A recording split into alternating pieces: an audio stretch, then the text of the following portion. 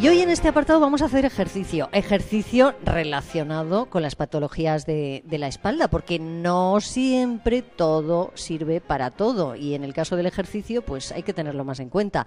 Doctor Kovacs, buenos días. Buenos días. ¿Hay pruebas científicas de que el ejercicio realmente mejore las dolencias de la espalda? Sí. Numerosos ensayos clínicos y revisiones sistemáticas han comparado el efecto del ejercicio al de otros tratamientos y el de distintos tipos de ejercicio entre sí. Por ejemplo, en pacientes con dolor lumbar crónico, sin dolor irradiado a la pierna, los resultados que ha demostrado obtener el ejercicio intenso son similares a los de la cirugía, a los de la fijación de las vértebras, y claramente con riesgos y costes diferentes. Sin embargo, en el ámbito de la espalda se distingue lo que es el episodio doloroso actual, es decir, lo que está doliendo ahora, y sí. el riesgo de recurrencia, es decir, de que vuelvan a aparecer episodios. Y el ejercicio ha demostrado tener más efecto para prevenir las recurrencias que para curar el episodio actual de dolor.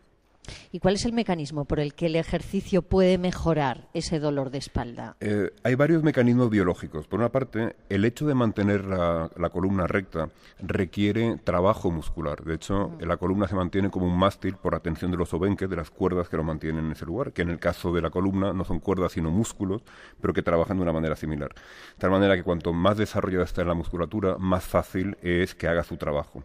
Por otra parte, el ejercicio mejora el tono muscular y eso ayuda a mantener la postura de manera inconsciente pero correcta. ¿no?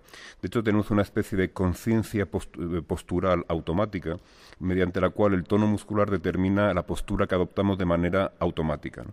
Y esto hace que sea más eficaz mejorar el tono para mantener una postura correcta que intentar controlarla conscientemente. Es decir, cuando las madres le dicen a sus hijas, niña, ponte recta. Ponte recta, sí. sí. Pero esto, la verdad es que la niña lo puede hacer con su mejor buena voluntad entre 10 y 15 segundos, pero en cuanto piensa en otra cosa, adopta el, el, la postura que uh -huh. su tono le induce a adoptar. De que sea más eficaz mejorar el tono que intentar estar constantemente controlando las posiciones. Por otra parte, cuanto más musculatura hay, mayor capacidad hay para hacer o soportar esfuerzos. Por, una, por, una, parte, cuanto menos musculatura hay, más fácil es en la vida normal se, se contracture o se sobrecargue su capacidad, sencillamente porque se exceda la, la potencia que puede desarrollar.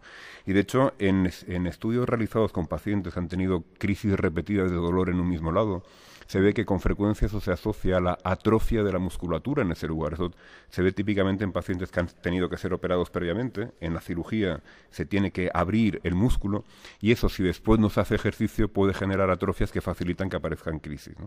Por otra parte, hay mecanismos preciosos. Es decir, la musculatura actúa como guardaespaldas de otras estructuras. Es una especie de mecanismo de seguridad diseñado para que cuando la presión va aumentando se desgarre una fibra muscular antes de que se lesionen otras estructuras como un disco intervertebral, de tal manera que el dolor que induce la ruptura de la fibra muscular o el desgarro obliga a cesar el esfuerzo sin que sin, antes de que se haya podido eh, dañar otra estructura y eso puede generar un dolor que aunque pueda ser intenso es benigno y en unos días desaparece y eso protege a otras estructuras que se habrían claro. podido dañar si no fuera así. Pero para que eso funcione hace falta que el músculo sea suficientemente Lo has dicho potente. muy bien, es el guardaespaldas de otras estructuras, efectivamente. Así funciona. Y, y por último, más... sí, sí, y, por último, como mecanismo biológico, en condiciones normales la musculatura se coordina en, en distintos grupos musculares para mantener la espalda recta y que se mueva.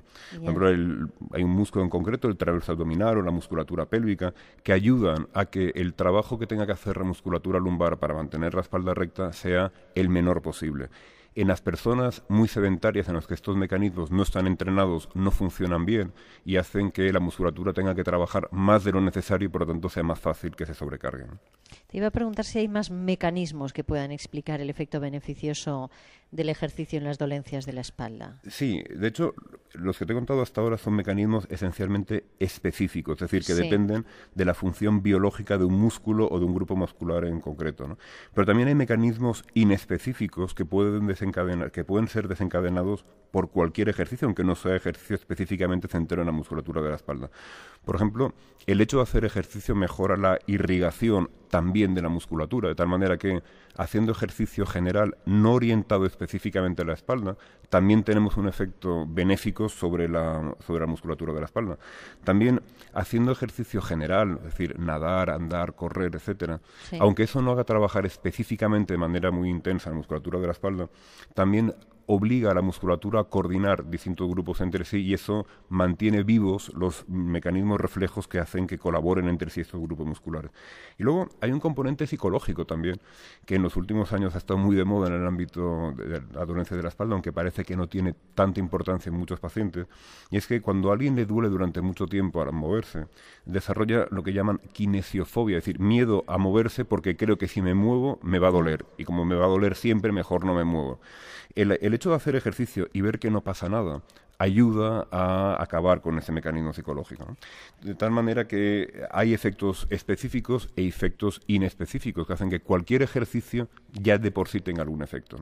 Ya, pero vamos a lo que yo apuntaba al principio. ¿Todos los tipos de ejercicio desencadenan los mismos efectos? Bueno, cualquier tipo de ejercicio desencadena los efectos inespecíficos, pero para desencadenar efectos específicos es necesario trabajar un grupo o grupos o funciones musculares concretas, es decir, ganar fuerza en un músculo concreto, estirar otros, etcétera. Sin embargo, cuando se han hecho ensayos clínicos se ha visto que en la mayoría de los pacientes los mecanismos inespecíficos, es decir, el hacer cualquier ejercicio, ya tiene un gran efecto, que se oscila entre el 60 y el 80% del efecto total del ejercicio. Entonces, esto, por una parte, explica que muchos ensayos clínicos no hayan hallado diferencias significativas entre ejercicios inespecíficos, como andar en bici o nadar, etcétera, y específicos, es decir, ejercicios analíticos destinados a trabajar en unos grupos musculares concretos. Y por eso se insiste mucho en que cualquier ejercicio es mejor que ninguno y que hay que tener en cuenta las preferencias de cada persona para decidir qué ejercicio prescribir.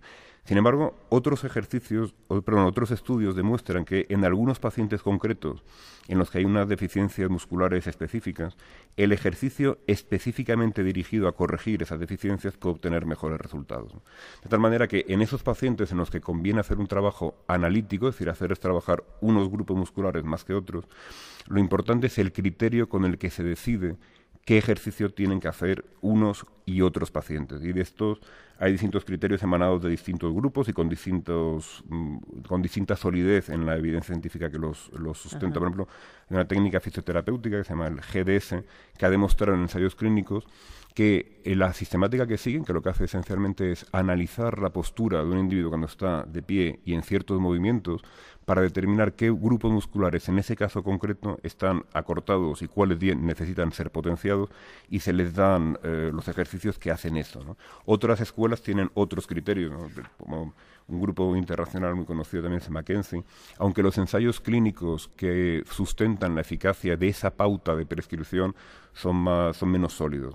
Pero también hay otras escuelas con otros criterios, pero en la práctica lo esencial es que cualquier ejercicio es mejor que ninguno y que para prevenir en un sano cualquier cosa es mejor que nada. Es decir, no hay excusas válidas para los vagos. se trata de hacer lo que se pueda. Otra cosa es que cuanto más simple y más barato le resulte y más le guste a alguien para que lo mantenga en el tiempo, pues tanto mejor. Y obviamente hay situaciones en las que por otras enfermedades no se puede hacer ejercicio y ahí cuando no hay más remedio no hay más remedio.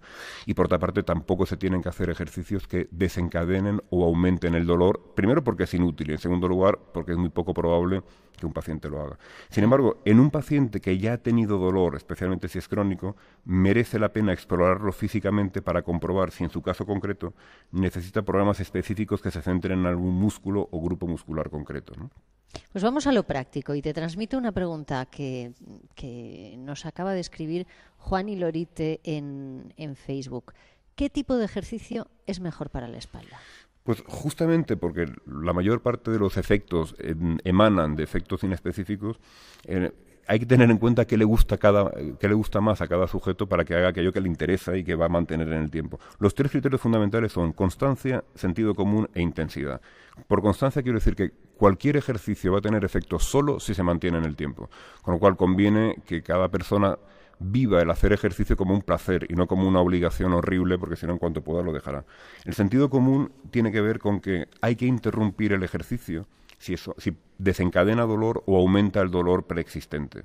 Y desde luego hay que interrumpirlo inmediatamente si causa o agrava dolor irradiado o si genera síntomas cardíacos, obviamente. Pero interrumpirlo significa abandonar, significa, en, si ahora me está doliendo al hacerlo, paro, ya lo comentaré con mi médico, evaluará la situación y eventualmente comprobaremos si lo estoy haciendo bien o no o me mandará otro.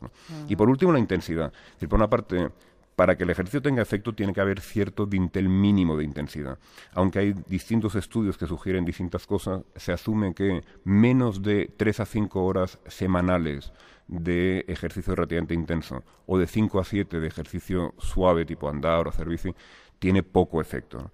Por otra parte, el deporte profesional es otra cosa. El deporte profesional no se orienta a mejorar la salud, sino a ganarse la vida con ello. Con lo cual, ahí, eh, salvo que haya em, entrenadores absolutamente formados que vigilen los programas que cada deportista profesional hace, de hecho, aumentan el riesgo de tener problemas en la espalda en otros lados porque se fuerza el límite máximo de capacidad biológica que tiene un sujeto.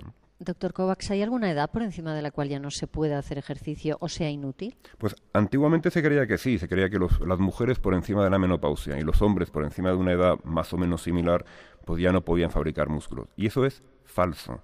De hecho, hay ensayos clínicos que lo demuestran. Uno en concreto se hizo con una población de entre 70 y 92 años, en la que se comparaba un ejercicio muy suave con un ejercicio realmente intenso, en el que se les pedía que hicieran trabajo con un porcentaje alto de la carga máxima que podían hacerlo. Y que demostró que entre 3 y 4 meses después, a esas edades se había mejorado un 11% la masa muscular seguramente esas mismas personas, si hubieran hecho ese mismo, hubieran participado en ese ensayo 40 años antes, probablemente hubieran podido desarrollar masa muscular más fácilmente. Pero eso es inútil. No tiene sentido compararse a uno mismo con 40 años antes. Lo importante es, en la situación actual, comparar el hacer con el no hacer ejercicio. Y claramente merece la pena. Por encima de ciertas edades puede haber otras enfermedades que limiten la capacidad de hacer ejercicio, pero mientras sea posible, desde luego merece la pena. Y si me apura, cuanto más mayor, mejor es decir, la diferencia entre un niño de 7 años que hace y no hace ejercicio no es muy grande. Entre un adulto lo es, entre un anciano es fundamental. Doctor Kovacs, me quedan preguntas, pero yo creo que las vamos a dejar para el próximo día porque no me queda tiempo. Pues será un placer. un besito y muchísimas gracias. Adiós.